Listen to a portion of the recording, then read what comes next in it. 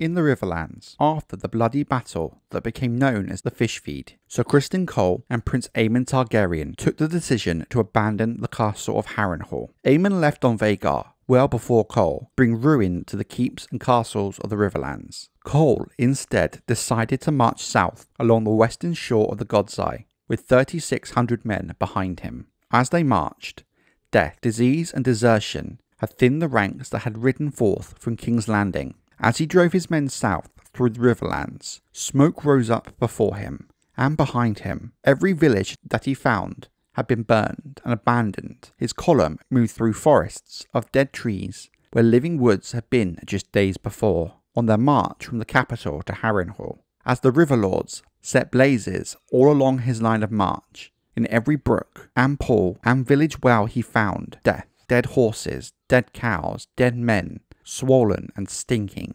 befouling the drinking water. Soon, coal supplies began to run out.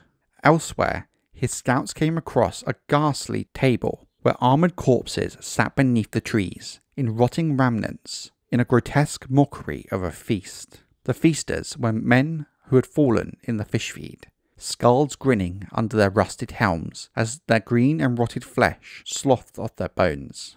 Four days out of Harrenhal, the attacks began. Archers hid amongst the trees, picking off outriders and stragglers with their longbows. Men died, Men fell behind the rear guard and were never seen again. Men fled, abandoning their shields and spears to fade into the woods like ghosts. Men went over to the enemy as well.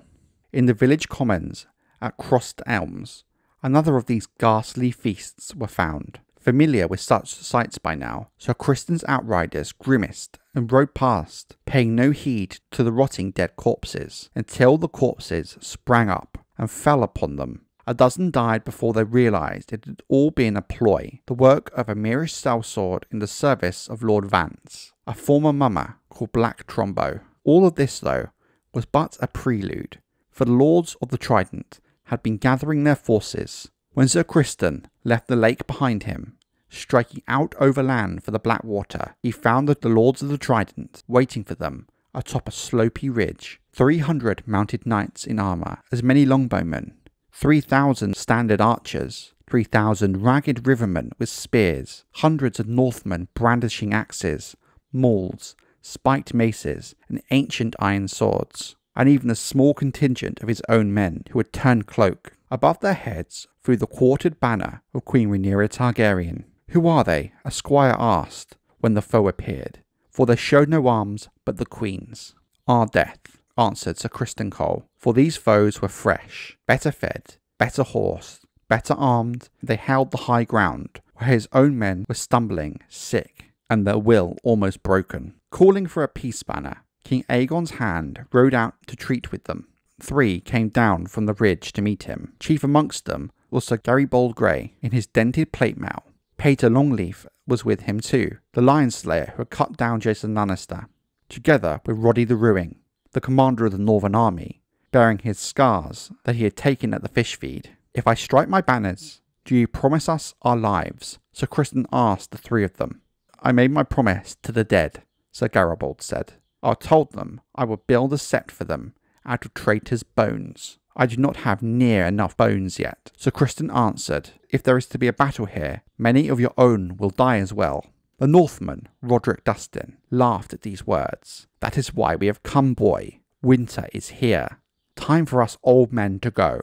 No better way than to die with a sword in your hand. Sir Criston drew his longsword from his scabbard. As you will it, we can begin here, the four of us, one of me against the three of you. Will that be enough to make it a fair fight? But Longleaf, the lion slayer, said, I want three more, and up on the ridge, Red Rob Rivers and two of his archers raised their longbows. Three arrows whistled through the air, across the field, striking Sir Criston in the belly, neck, and breast. I'll have no songs about how bravely you died, Kingmaker, declared Longleaf. There's tens of thousands of dead on your account. But by the time he had finished his sentence, he was already speaking to a corpse. The battle that followed was as one sided as any in the Dance of the Dragons. Lord Roderick raised a battered old war horn to his lips and sounded the charge. and the Queen's men came screaming down the ridge, led by the winter wolves on their shaggy northern horses and the knights on their armoured destriers. With Sir Criston dead upon the ground, the men who had followed him from Harrenhal lost all heart. They broke and fled almost immediately, casting aside their shields as they ran. But their foe came after them, cutting them down by the hundred. Afterwards, Sir Garibald was heard to say, Today was nothing but butchery, not battle. In the histories of the Seven Kingdoms, this bloody battle and the death of Sir Criston Cole, the Kingmaker, was dubbed the Butcher's Ball, and so it has been known ever since.